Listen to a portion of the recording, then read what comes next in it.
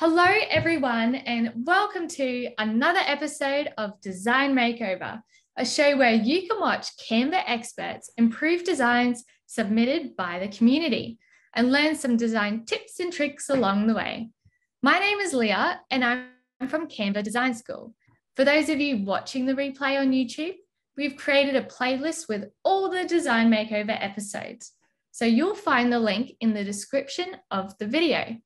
And if you would like to attend our future design makeovers live and get a chance to ask questions to our design experts, you can sign up to any of our live events via Design School events available at this link. Well, I would like to give a very warm welcome to our guest today, Nick. So I will let him introduce himself. Hi, thanks so much, Leah. I really appreciate the, uh, the introduction. And um, thank you all for having me. As Leah mentioned, um, I'm Nick, and I've been at Canva for about two and a half years, uh, which is veteran status um, compared to a lot of people, uh, given the growth that we've had recently. But yes, um, I work as a uh, education designer, and I do a lot of uh, brand work with Canva as well. Um, my background, um, I actually worked at Apple for a few years, about five years as a software trainer, and then uh, left to pursue my love of design uh, and worked as a freelancer and also at a few different agencies for a number of years um, doing brand strategy and brand design here in Sydney and um, uh, for some clients abroad as well. Uh, and then, of course, I joined Canva as a brand designer, but um, with a special a specialization in education design. So I think this is the perfect role and combination of the three things I love, which is design, education, and technology. So hopefully today I'll be able to share some of my learnings with Canva and design in terms of different principles and um, different things that um, I picked up along my journey. And of course, if you have any questions as I'm going through some designs today, you can put them in the chat and uh, we'll try and answer them throughout and um, possibly at the end as well. So that's a bit about me. Now a little bit about us uh, and Canva. I'm sure a lot of you are pretty familiar with our company right uh, by now. Some of you might be quite new. I think something we truly believe at Canva is that design isn't just for designers, it's for everyone. You quite often hear us say that um, we're all about empowering the whole world to design, which really means design for everyone. Uh, and we're dedicated to bringing the power of visual communication to everyone. So, how do you get started with Canva? A lot of people get very overwhelmed in the beginning, especially when it comes to learning about things like graphic design and design principles. Um, today, we're going to focus on lots of different design principles, um, which I'll try and point out along the way. Just to kind of name a few here, this is what some design principles look like. So there's things like hierarchy, contrast, negative space, repetition, grouping, balance, and alignment. Um, so we're going to look at most of these today in a few different designs, and I'll try and point them out. And you can think of these a little bit like um, uh, they're kind of like design superpowers. Once you get a knack or get an eye for how to apply one of these principles, you'll start to see it everywhere. I don't know if uh, if you're like me and you're walking down the street and you see a bus go past and you notice an ad on the side of the bus and you'll start to notice that the text isn't quite aligned to the left or the right, or the, the color harmony isn't quite right. It's, you know, the, the contrast isn't high enough or something like that. Um, it's kind of a, superpower and kind of a curse as well, because then you start to deconstruct everyone's designs when you're um, just out and about in the world. All right, so today we're going to be looking at two different designs that were submitted uh, on the Facebook group on Design Circle. Thanks everyone for sharing their designs, first of all. These two were, I think, the ones with the most potential that I thought were really quite interesting to begin with, and ones that I thought I might be able to hopefully, um, you know, change and, and kind of progress to a, to a new kind of design with some design principles. All right, so let's jump into the first design, which is the business card. So this is from Juliana, um, Juliana, are you? Hopefully, you're on the call today. Maybe you're not. Um, depends what time zone you're in, I suppose. Um, but if you are, feel free to jump in the chat and, and tell us a little bit about your your business card design. Um, yeah, I'd love to hear a little bit about it. So uh, I'm going to jump over into the editor now so we can have a look at this design. All right, so here it is. I think Juliana has used a template here, but then she's customized this one with um, a few extra details. So there's obviously a couple of um, logos at the top here. Um, she's put in all of her details um, for her, um, I'm assuming her job position and the urban Ag agriculture division.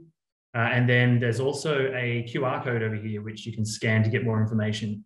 And I did actually test it and it works. It takes you to a, a nice um, little Linktree page where you can uh, get access to Juliana's other um, social media accounts and um, other links that she's put there.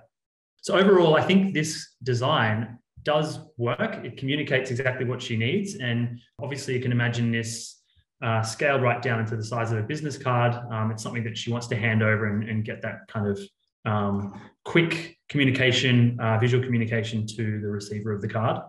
Um, but I think there's a few little things here that we might be able to improve the communication even further. And I'm going to start with alignment, but even before I get to that point, I'm going to show you a few things that I normally do when I start working on a design, just as kind of like a best practice, I suppose. First thing we want to do is duplicate the design. So I don't want to touch Juliana's original design. We'll just um, keep this one there so we can compare it later on. And then what I like to do is turn on a few um, visual tools. Up here in the top left corner is the file menu. And you'll see you have um, something here called rulers. Um, I've already turned them on, but just so you can see if I turn them on and off, you press Shift R on your keyboard to turn them on and off as well. It gives you these sort of um, uh, rulers at the top here, um, which give you the measurements of the dimensions of the actual canvas.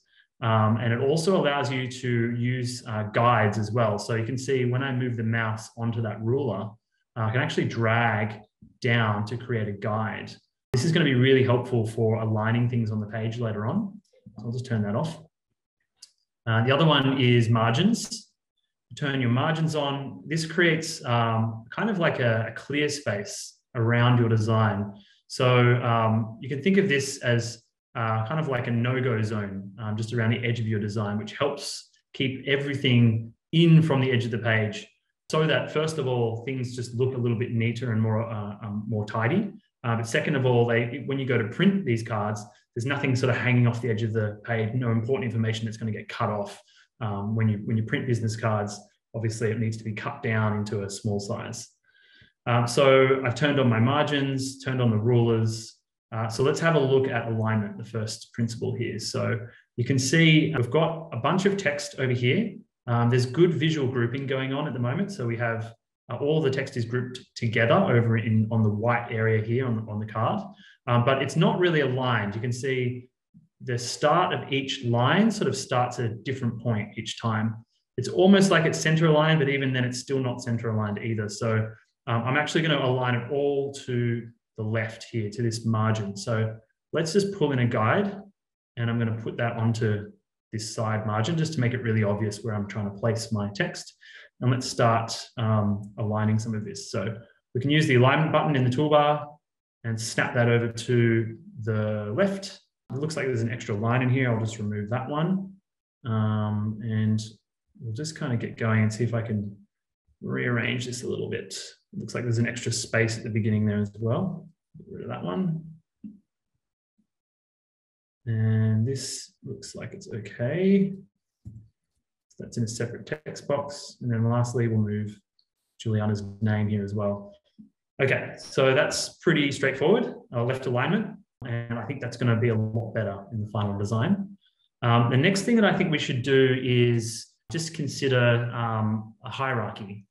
Uh, so hierarchy is really a, um, a really important principle that helps guide the viewer around your design. It helps them understand what is the most important thing on the page and what should they read first, and then what should they read second and third and fourth.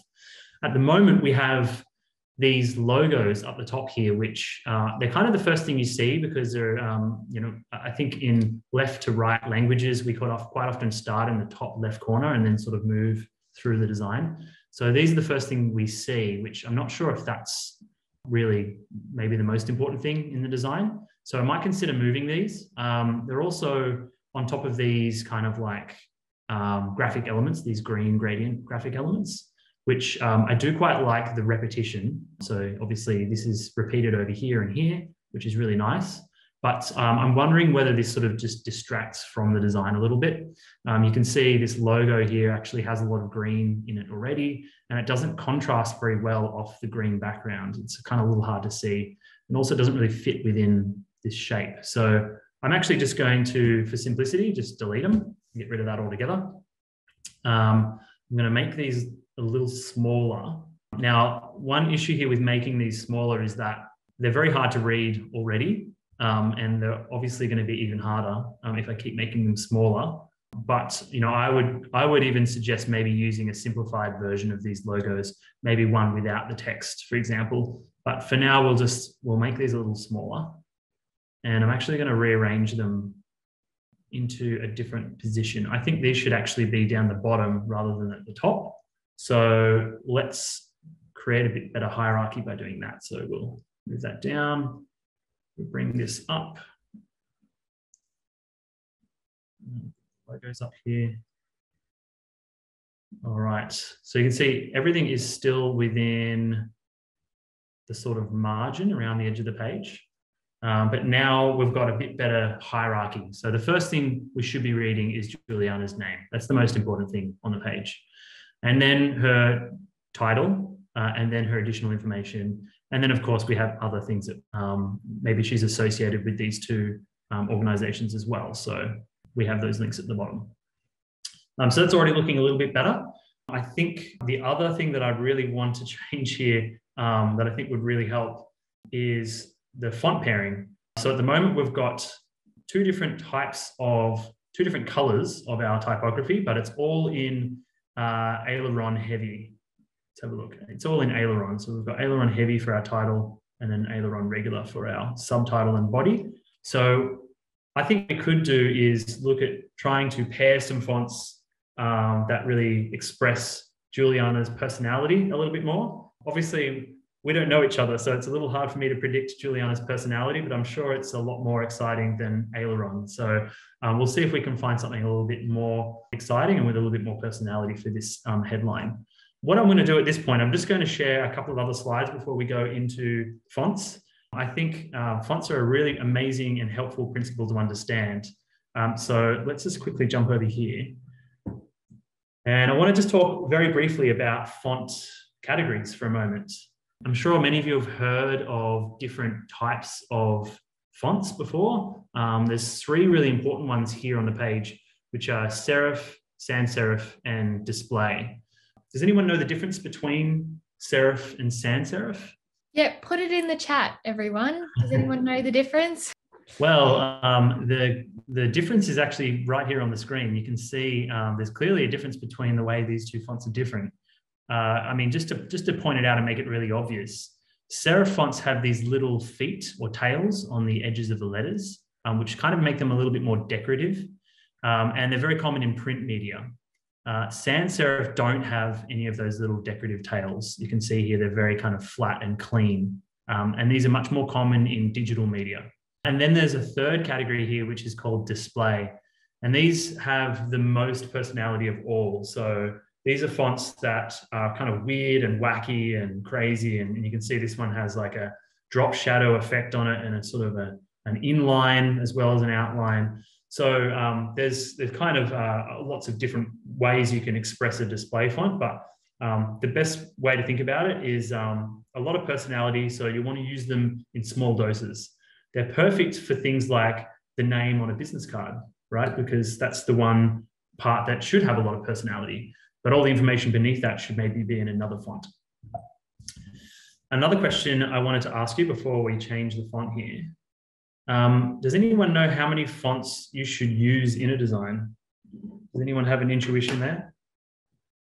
Oh, this is a good question. Okay, so we are getting a couple twos, three, uh, yep. another two, two. Okay, so there seems to be a bit of a bit of a consensus right on. on. this one. Yeah, I think um, that's a that's a really good uh, guess there two to three is about right. I would normally say two um, is ideal. So um, coming back here to Juliana's card, I think we're probably going to be best served with two fonts. So one for the name and then a second one for the rest of the information. I think when you're designing, usually um, if, if you can try and stick with two, even uh, fonts that are within the same font family can work quite well. So maybe one that's bold and one that's regular. Um, so it's kind of like a thick and thin. I think something else to remember when you're pairing your fonts together is that opposites attract. Um, so it's just like that kind of thick and thin example. You might choose to use something like um, an expressive and a neutral font um, because they kind of, I guess, juxtapose off each other and, and they, they work, they end up working really well together. What you might find is if you use two fonts that are quite similar, they end up sort of competing or fighting on the page. And um, it's, it's sometimes a little hard to know why it's not working, but it could be just because you pick two fonts that are very, very similar. So that's one example there. Expressive, versus, uh, expressive and neutral works really nicely together. Um, so thick and thin is another way of, of doing that. Um, serif and sans serif is a classic combination as well. So picking a font with a little decorative feet and one without um, always works really nicely. Uh, tall and short, another way to go. Um, so yeah, there's a whole bunch of different possibilities here. So let's come back to Juliana, Juliana's card. I am going to change her font now. I'm going to jump in and show you how you can find all sorts of different um, display fonts. So up the top here in the toolbar, we can see Aileron Heavy is selected. So if we click on that font menu, what you'll find here, when before you even start searching, you, you can see these little um, kind of like little pill menus. So the little boxes with um, different descriptions written inside. So uh, we have handwriting, corporate, there's display, headings, paragraph, sans serif, serif. So there's all, all your different um, categories. So it makes it really easy for you to jump in and find fonts. So I'm going to go with display. And um, this is actually uh, just a cool tip. You'll find a lot of Canva's brand new, funky, interesting, designy typefaces hidden away in display.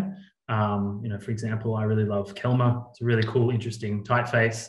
I don't think it might, it's going to be right for this one, but um, there's lots of really, really interesting stuff in here. So, um, and you can see um, uh, display typefaces usually have a lot of personality. They're very interesting. Um, so I thought for this design, I would use um, Quando was the name of it. So let's see if I can find it here. Here it is.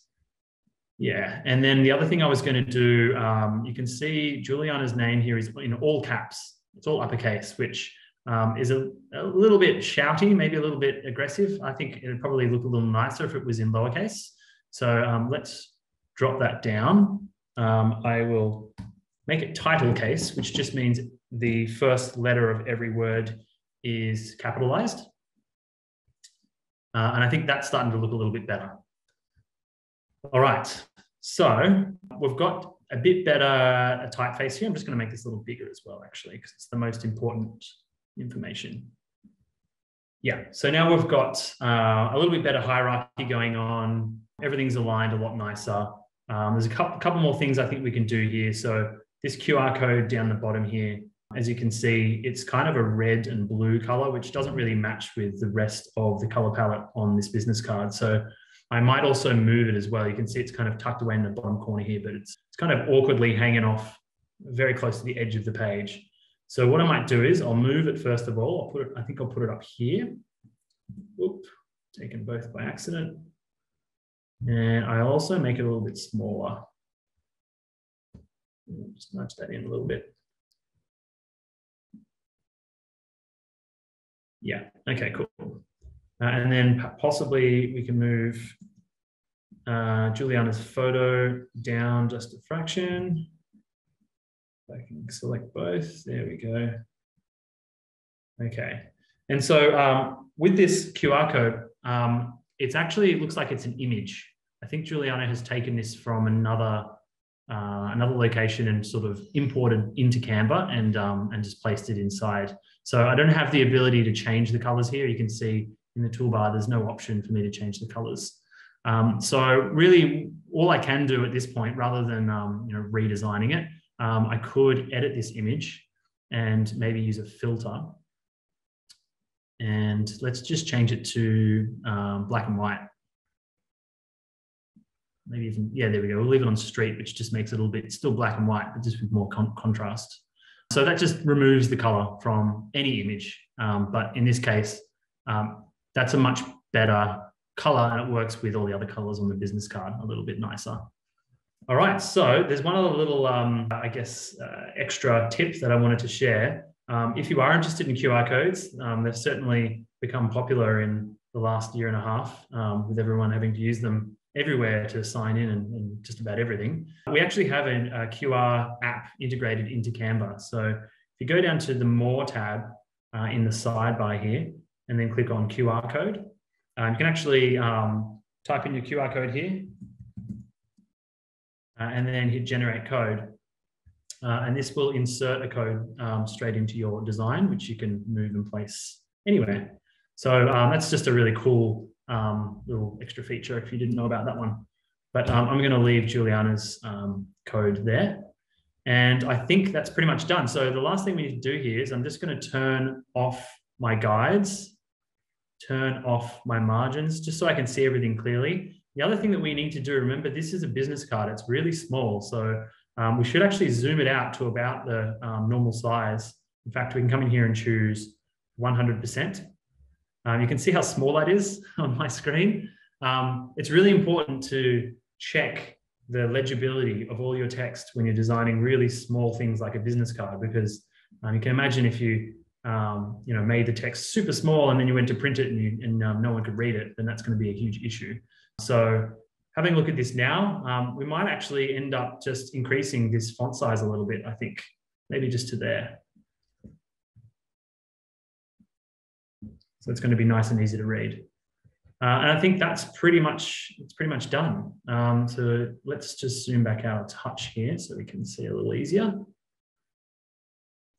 So there's the where we started, and there's where we are now. Um, so I'm going to just flip over to the next slide over here. So you can see here what we've done. We've uh, essentially created uh, three three principles really. So we've um, worked with alignment to make everything align to the left and, and look a little bit neater. Um, we've also worked with hierarchy to essentially make sure the most important information is shown first. And then finally, we've also uh, worked with font pairing. So we've um, uh, used a display font for Juliana's uh, name to make it, give it a little bit more personality and kind of get, give you some sense of what she's all about. Um, now, I hope um, Juliana can take this design even further and maybe um, change that font to something that, that really um, uh, represents her personality. Um, that would be even better. Uh, but I think that's a really good start for now. All right, so let's go on to the next example. So this one is by uh, Jonatas, and it is a logo for, uh, I can only assume is maybe an online shopping brand um, maybe it's a shopping brand in, in real life, but you've got a shopping cart there and, um, and the word worry. Uh, I don't know if uh, Jonatas is on the call today, but um, if you are, please feel free to jump in the chat and um, let us know um, a little bit about your logo. I'd love to hear uh, what it's for, uh, how you came up with the idea, um, you know, anything like that would be really helpful. It's a very interesting and, and, it's a very, really cool design, actually. I really like it already. So I didn't want to change it up too much. But yeah, I've got a few little things that maybe we can try on this one to get some other variation. All right, so I'll come back over to uh, Jonatas's design. So here is the original logo. So once again, I'm going to come down and duplicate this page. And in this case, I don't necessarily need to use guides as much because I'm just creating a kind of like a logo mock-up, if you like, that is going to be used in a design later on. So not, not as important to have, um, you know, I guess, uh, rulers and guides on for this one. But yeah, I want to look at a few different things here. So um, we want to look at a clear space. We want to look at fonts again, and we want to look at color harmonies and some color basics. So um, let's try the first thing here, which we already we already learned a little bit about fonts. So I'm actually going to start with that um, here again, and let's have a look in our uh, font drawer. And I'm going to use another display font. Um, so let me come over to display, and um, one moment. make sure I'm on the right page here. Yeah, here we go. So there was one here that I really loved um, that I thought really spoke to this design. Let's see if I can find it. Uh, I think I'll search for it. It's uh, Tan Nimbus. Yeah, this one here. Now this looks a little bit um, different to what Jonatas originally had. But what I loved about this type here, and this is something that I guess you uh, pick up with a lot of time working with type, but you look for different shapes that sort of complement um, other parts of the design. So what, what I really loved about this design was this shopping trolley kind of has these really pointy shapes that are pointing to the left. Um, they're kind of like really fast looking kind of serifs that point off to the left. And um, I thought, why don't we try and find a font that also has that kind of nice serifs that also sort of point to the left and give you that kind of feeling of speed almost. Um, so this one I, I, feel kind of matches, especially this part of the W here, kind of really does feel like it matches in with the trolley design here. You can see Jonatas has also used very cleverly uh, the wheels of the trolley and turned it into like a little face, which is very cute. And I love faces in logo design. I don't know why. Um, I'm a big sucker for putting, I guess, uh, a human element into a logo. It really does uh, humanize a brand and helps people associate and identify brands um, when use things like faces, you know, whether eyes or a mouth or something like that. So I do really love this and I, I definitely want to work with that. Something else I noticed about this design, which I thought was very clever, I'm just going to zoom right in here. See these little semicircle shapes here? Well, they're not quite what you think. Um, Jonatas has quite cleverly used um, our infographic charts feature to create semicircles. Um, so to give you an idea of how he's actually done this, I'm going to show you um, what I think he did here. So um, if we come into the elements area, uh, and then we have an area called charts here. So I'm going to choose see all. And you can see we've got all these kind of funky looking stat charts. Um, I'm going to grab this one here, which is uh, it's a radial progress chart. So you can see, see here when I move that, it kind of goes up and down. And then um, it looks like, I think what Jonatas has done here is just change the color like that, and then use that as a little semicircle element like that. And, you know, I think this is what's awesome about Canva is you can really I don't know, you can kind you can kind of hack Canva and use it the way you want. You don't always have to use elements for what they're designed for. Like however you can achieve your design using whatever elements are available, like that's totally fine. You don't have to use things the way they're intended to. You know, the, uh, the whole platform is just there for you to to facilitate your creativity and, and use however you want. So I actually really love that he's done that. One thing I thought would uh, look quite nice for um, fixing up uh, the kind of smiley face area here is uh, when we when we edit to these radial progress charts here, we have an option to use rounded endpoints, which I thought um, look a little nicer. You can see here these sharp edge ends to the um, to the radial progress chart don't quite match up with the sort of rounded endpoints that we have everywhere else. So I thought maybe we can make it a little bit more friendly by um, creating rounded endpoints. So let me delete this and I will put in rounded endpoints on these and a rounded endpoint here and on this one. Okay, really good. All right. So before we take this any further, um, I just wanted to talk a bit about the color. So um, Jonatas has chosen purple as a background, and then we've got yellow and this sort of lighter purple here for the other half of the trolley. Now, one thing that's really important to consider with color is the contrast. So you can see here this uh, lighter purple on the dark purple background isn't necessarily very high contrast. It, can, it might be a little difficult to see on because the, the two colors are a little bit too close. So um, I think what we should be doing is, is considering uh, making our colors much higher contrast by having a dark background and light colors, but also consider other use cases. Whenever you're designing logos, what a lot of brands need to think about is where is their logo going to end up? Is it going to be on uh, the side of a billboard? Is it going to be on packaging? Is it going to be on a business card or you know on the side of a plane. You know, it could be it could be anywhere, and and sometimes we don't know what color background um, it's going to be on. We don't get to choose the color of the background all the time as well. So will this logo work on a light background, white? Will it work on a black background? Will it work on purple? We need to think about all those different variations. We also need to think about um, the size and scale of the logo. So at the moment, this logo is quite tall. Um, you can see here it's actually slightly taller than it is wide. Um, but that might not work for some um, uh, use cases. Maybe we need to have a much wider kind of compressed version that, that will work, uh, where maybe we put the shopping cart down on the side like this. Um, so uh, I thought about that, and I think we, will try a couple of different options here for color and for logo lockup.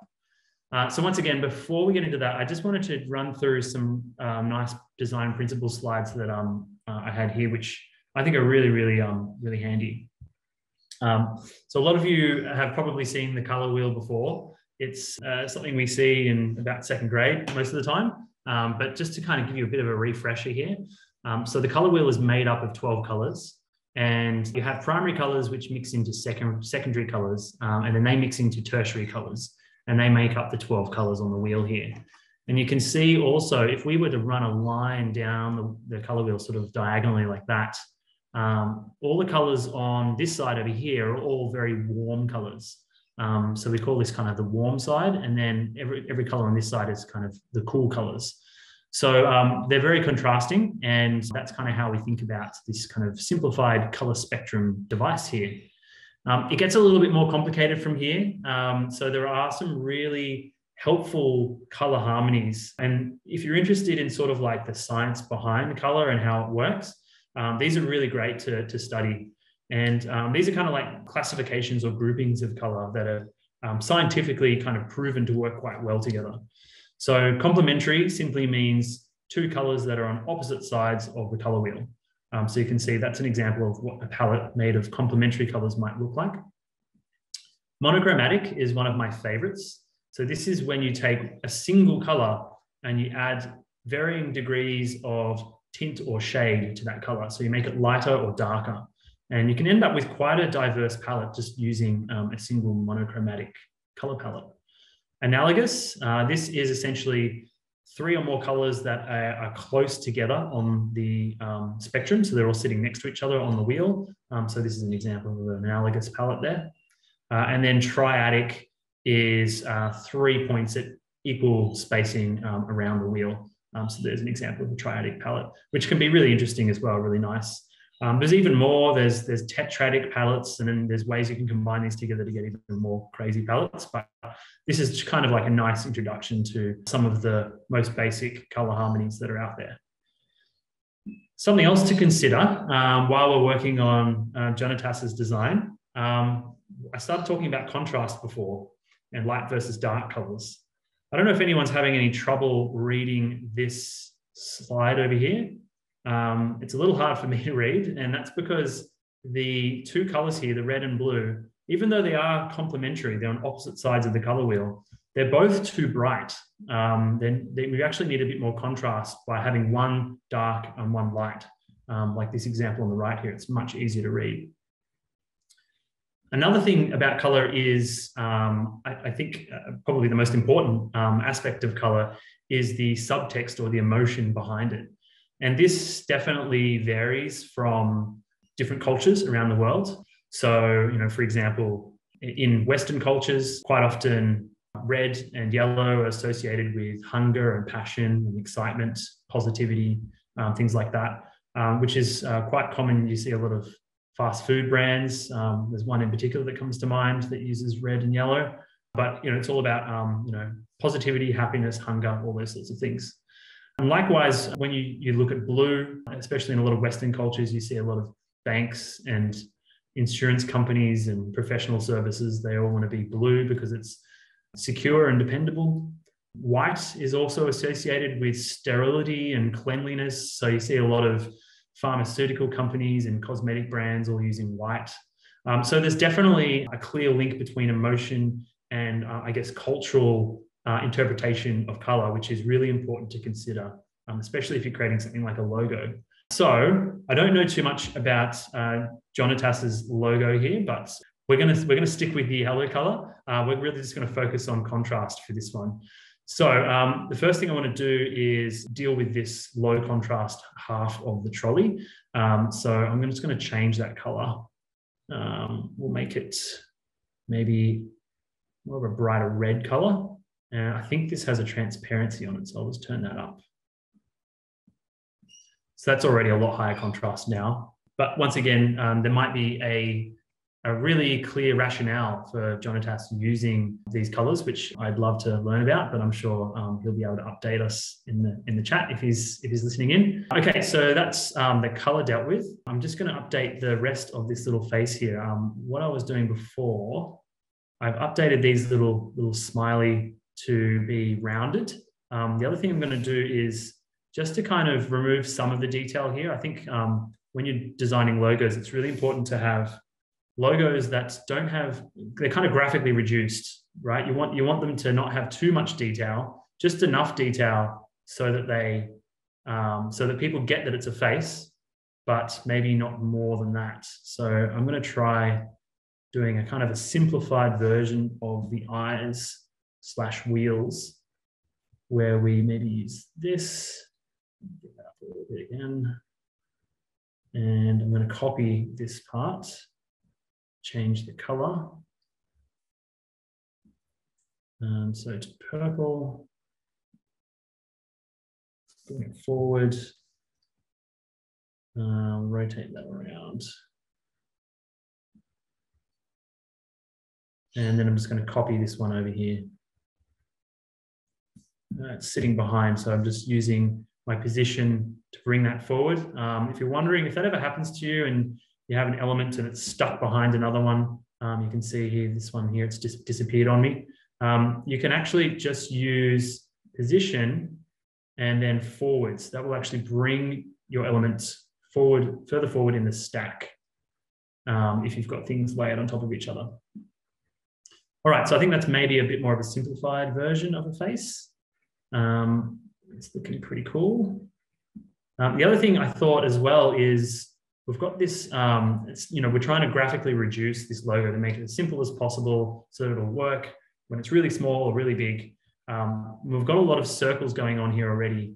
And um, the I on worry, um, the letter I here has a big circle in it, which um, I don't think we really need. Um, it's going back to the original here. I know Jonatas has it in here as well, but it's kind of an extra element that maybe we don't need. So I'm actually just going to cover it up I'm going to grab a square and I'm just going to essentially cover it with this square.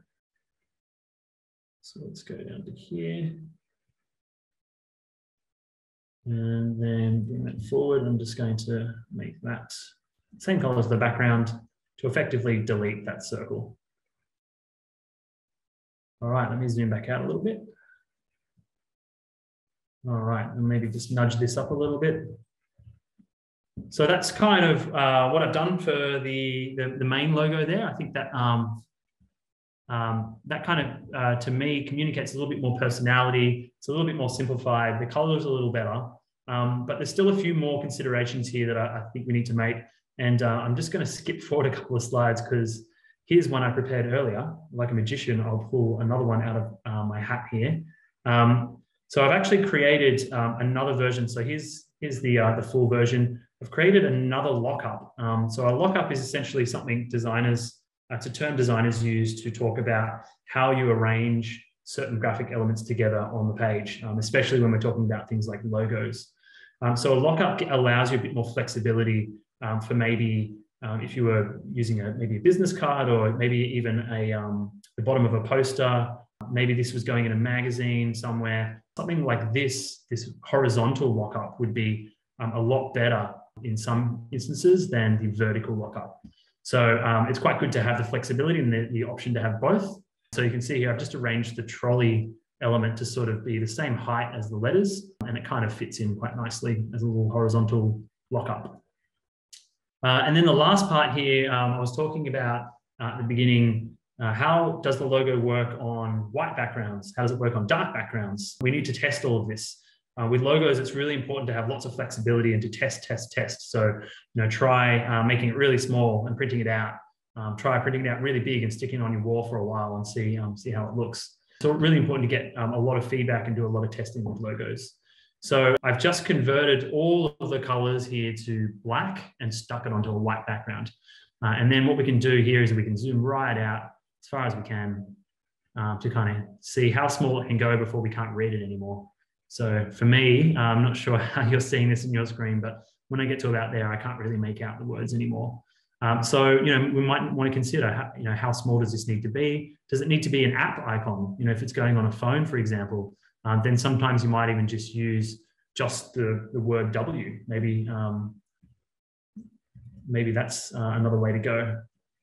You know, we get rid of all of the other letters and just have that as an icon, which might, might be on our app, something like that. So uh, then I've also done the same thing again here with um, the black onto, uh, onto a black background. So white on black. Um, so once again, you can zoom in and out and get a feel for how um, big or small that's working. And you can see here, I'm starting to build um, a kind of a toolkit of logos. So I've got my full color version, um, I've got my black on white version and my white on black version. And I've got two lockups of each, uh, a, a, stacked vertical version and a horizontal version. Um, so that's already giving you lots of flexibility depending where you want to use that later on. All right, how's everyone going? Is that um, is that helpful so far? Is it overwhelming? There's been lots of love in the chat, Nick. So thank you so much for sharing all this Canva goodness. Excellent. Well, that's the end of uh, the second design. So um, again, there's a little quick before and after. I hope, Jonatas, um, I didn't, I did, uh, uh, did faithfully to your design and didn't um, take over it too much. Um, hopefully you love it, but of course, if you want to tweak it even more, you know, we'd love to see what you come up with. So um, that's pretty much it for today. I might throw over to Leah so um, we can answer any questions you might have. I also just thought I would mention for everyone um, Nick was talking about color theory and stuff quite a bit, but we also have a great resource, uh, canva.com forward slash colors, which I'll also just post the website in the chat for everyone now. And I've found that, oh, there we go. It's on the screen. Perfect. Uh, here's one I prepared earlier. Yes, no, I, I absolutely was intending to show you this page. Um, if you head over to canva.com slash C O L O R S, so colors spelt the American way, um, you'll find this page here, which is an amazing resource for learning about color uh, palettes, creating your own color palettes, and just kind of learning about, I guess, some of the science behind um, different color meanings. Um, so, just to give you an example, um, I talk a little bit about some of the different color harmonies like complementary, analogous, triadic, and, and so forth this is a way for you to play with some of those. So you can see here, um, I've actually selected to complementary um, at the moment, but maybe I'll go for a triadic one. And um, what that actually does, allows me to select one point on the color wheel. And as I move that point around, it automatically selects the second and third point for me based on the triadic combination, which is really cool, right? Uh, you can also add more um, tint to the color here. And then of course you can copy um, you can copy these swatches using the hex code down here. So this is a hexadecimal code, um, which you can essentially click on and bring that over into your design. And you can paste that straight in. There it is, which doesn't work at all with that background. So let me undo that one. And the other part here I wanted to quickly show you, we also have the uh, color meanings area. I think this is one of my favorite um, areas. Our, our, um, our designers have spent a lot of time collecting and writing all the information on this page. So if you're interested in learning um, all there is to know about bright orange, um, if you click on it, um, you can see here, there's a little bit of a uh, history of bright orange, um, how, uh, what, what it's, what rep what's represented by orange uh, in different uh, kind of uh, emotions and feelings, um, how you can pair it, how you can use it. Um, there's also color space conversions, um, which is a little bit more technical, but um, there's a lot of information there about every single color that you can use in Canva. So that's pretty cool. Definitely. I've had so much fun playing around with all the different color pairings and stuff on there. So go check it out if you haven't already. Uh, we have actually got a couple questions that have just come in, Nick. Um, Joanna was wondering if we are able to edit the code, uh, the colors on QR codes in Canva. Good question. Um, I think the answer is no at the moment, unfortunately. Um, I was just playing around with it before um, we jumped on just to see, I guess, what we can do. Um, and I, am pretty sure at the moment we only have the ability to add black and white codes. Um, so let's just try this example here again. If I add this one in, um, it's essentially an image which is not editable. Um, oh, hang on. Yes, it is. I take back everything I just said. so it looks like we can change the background um, color. Perhaps that's the only part. But, you know, you can get pretty creative. Um, I mean, I'm just spitballing here, but um, if I change this back to white and maybe choose edit image, um, you can use um, some of our image editing apps to do things like add a duotone, um, know, there's like color mix, rainbow kind of filters. There's all sorts of interesting stuff here. Um, perhaps duotone could be the way to go. Then we can get an interesting looking color. Now it looks like we can edit the colors this way. So um, there's a creative way to change the colors, I guess kind of in a roundabout way, the duotone effect. I didn't even know that. So there you go. Very cool. We also have another question, and this person was just wondering if you're able to group elements in your design. Yeah, absolutely. It's a really good question. Um, it's really important to group information that belongs together into their own sort of groups. It really helps with, I guess, uh, working with your design and rearranging things, especially once you've got everything kind of locked in, but you still might need to move your, your visual groups around. Um, so for example, here, you can see I have two text boxes here, um, which are separate. Um, I actually would prefer to group these together so that um, I can manipulate them together. So I'm going to draw, a draw a, a, box around both of my objects like that, uh, and then choose group up here. Uh, and that means now uh, when I move one, they both move together. Um, so that's really, really handy. Um, and also the same thing for the bottom here. These two logos aren't grouped together. So I might just draw a box around both of them and then choose group. Um, and it's the same to ungroup them again. So um, just select and then click ungroup. Yeah, that's that's grouping. Really, really easy. Perfect. Thank you, Nick. Well, I think that wraps up our show for today. I would also like to mention that we have a Canva Design Circle Facebook group, and this is actually where we got our submissions for the design makeover today. And I think we've got about 170,000 members now. So it's a great place to ask questions, hear about new feature rollouts, and get tips and tricks as well as feedback on your designs. So thank you very much for attending Design Makeover today. I hope you learned something and make sure to stay tuned for future episodes with our extremely talented design team here at Canva. Make sure to follow Canva on our social channels for everything you need to know about design. Thanks, everybody. Thanks for listening. Bye.